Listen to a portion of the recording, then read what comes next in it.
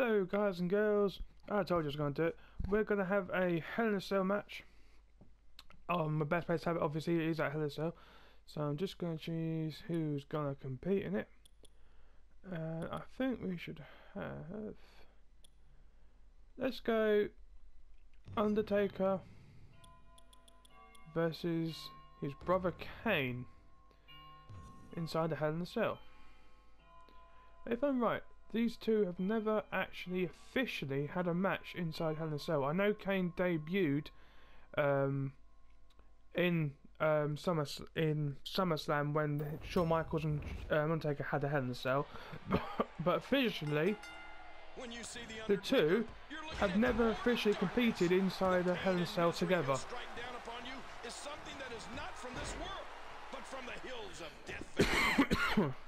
now personally, I would love to see these two um, tag team inside of Hell in a Cell. I know they've been in steel cage matches with each other, but never actually been inside the cell together. Which I think would be oosh. Would be pretty awesome actually. I mean, he can choke slam the nearly 500 pound Big Show clear the top rope with a dive out onto the floor, and lock in a submission hold with the best of them. He truly is the Phenom. He got him. Wow. The Undertaker is not someone to sleep on.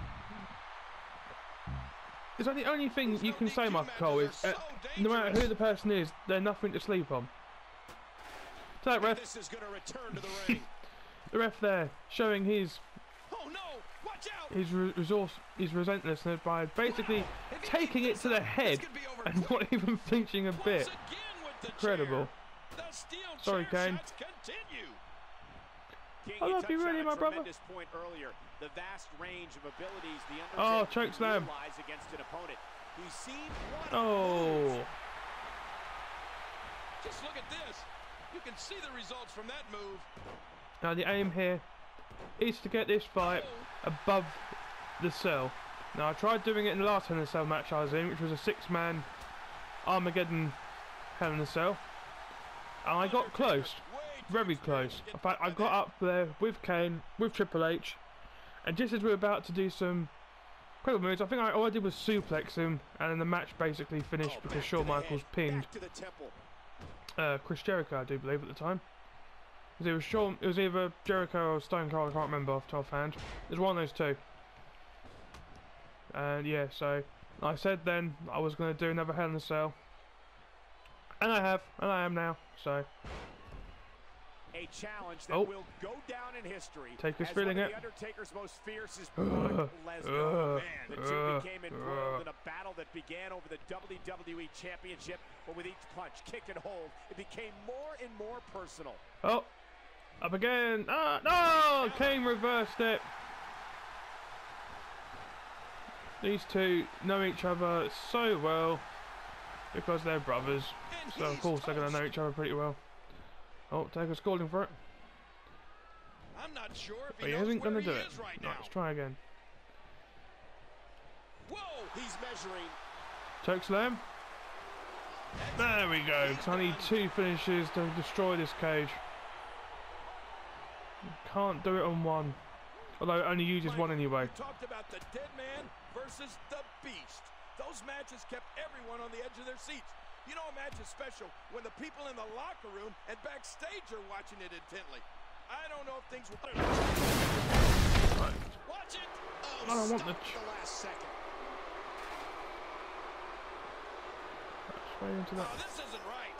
But it's legal, Ken. There we go. It's all legal. Yeah, well, that doesn't mean I Boom! Through the cage.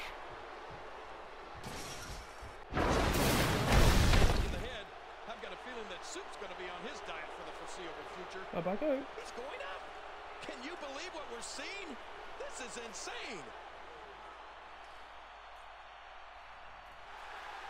You don't see Kane take a beating like this very often. Excuse me, Michael, while I close.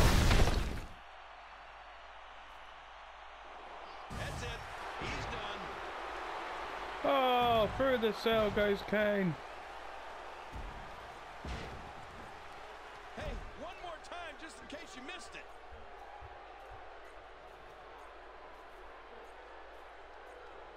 And he's heading down from the cell. Look at this. He's just barely moving.